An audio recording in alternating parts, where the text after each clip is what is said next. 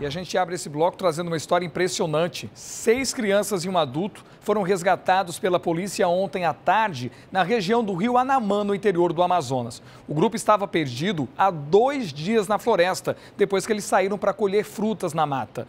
Uma chuva teria atingido a região e fez o céu escurecer antes do previsto. E por causa da pouca luminosidade, o grupo seguiu se locomovendo pela mata e, se, e acabou se perdendo. A família recebeu os primeiros cuidados no local e foi levada a Maués para receber cuidados médicos. Pacientes que fazem tratamento de saúde fora de Manaus estão com os pagamentos de ajuda de custo atrasados. Em vários estados, há relatos de dificuldades enfrentadas por amazonenses com todos os tipos de patologia. Cristiane se mudou há três anos para Eusébio, município da região metropolitana do Ceará. Ela viajou para não perder a vez na fila de transplante de rins e depende da ajuda de custo paga pelo Programa de Tratamento Fora do Domicílio, o TFD. Com o dinheiro, ela paga a estadia e outras despesas. A minha maior dificuldade em relação ao TFD é a falta de comunicação. Ninguém consegue comunicação nem por e-mail e nem por telefone. Nem todas as vezes você tem um parente que possa ir lá na instituição saber o que está acontecendo.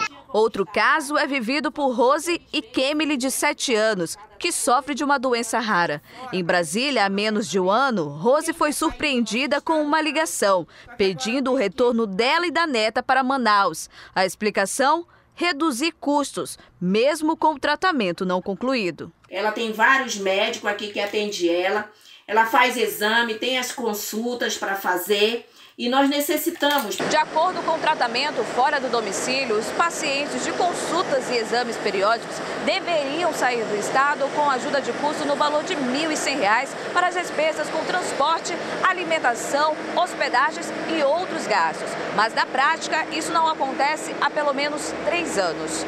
Segundo a Associação de Transplantados do Amazonas, mais de 400 pacientes do programa TFD estão prejudicados sem a ajuda de custo. Para quem passou por isso, que eu passei por isso, fiz meu transplante fora, vi a dificuldade que foi, a dificuldade continua cada vez mais piorada, a gente fica totalmente revoltado por ter dinheiro, por o dinheiro estar tá sendo encaminhado direitinho para o governo do Amazonas e o governo do Amazonas não está repassando esses valores para os pacientes. Mesmo quando retorna para a cidade de origem, o paciente espera dias para receber o valor dos gastos feitos no local. Em nota, a Secretaria de Estado de Saúde, Suzan, informa que não há registros de atrasos no pagamento de ajuda de custo. As eventuais pendências estão relacionadas à falta de documentação e relatórios que são responsabilidade dos pacientes não é o que os pacientes falam, né? E atenção você que é estudante, o prazo para inscrição do ProUni termina hoje. Ao todo, são mais de 250 mil bolsas parciais e integrais para faculdades privadas com base nas notas do Exame Nacional do Ensino Médio. Para concorrer, é preciso ter feito o Enem de 2019 e estar nas faixas de rendimento exigidas pelo programa e também fazer a candidatura no site do ProUni, o site prouni.mec.gov.br. Esse procedimento só pode ser feito até a meia-noite de hoje horário de Brasília. Fica o aviso e o alerta. E olha isso, uma descoberta feita por cientistas do Instituto Nacional de Pesquisa da Amazônia coloca um fruto nativo da nossa terra no grupo de frutas ricas em vitamina C. Trata-se do caramuri, tradicional do interior do Amazonas.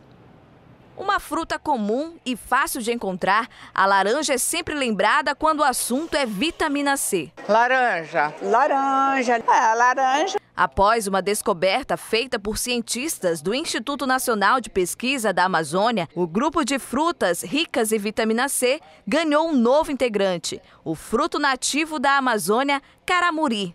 De cor amarela, quando maduro, o fruto típico do norte do país é mais comum no interior do Amazonas. Um pé de caramuri pode alcançar até 20 metros de altura e seu período de frutificação é sempre de setembro a fevereiro. O caramuri tem sabor doce e cheiro agradável. Chega a ser comparado ao abil, um outro fruto amazônico. Apesar de ser da região, ele é pouco conhecido e surpreendeu os pesquisadores por ser três vezes mais rico em vitamina C do que a laranja. O estudo iniciou quando este nome, Caramuri, foi indicado pelo Estado para nomear a bola da Copa do Mundo de 2014. É um fruto muito promissor, quase a população não conhece. Nós resolvemos no projeto de fruteiras da Amazônia, constatamos que o caramuri era um fruto muito rico em vitamina C. E além disso, que também tem os constituintes minerais, que é muito rico em, em potássio, para os pesquisadores, o resultado do estudo indica que o fruto tem potencial para ser utilizado pela indústria alimentícia e farmacêutica. Ele tem um, um excelente perfil aromático com compostos antioxidantes.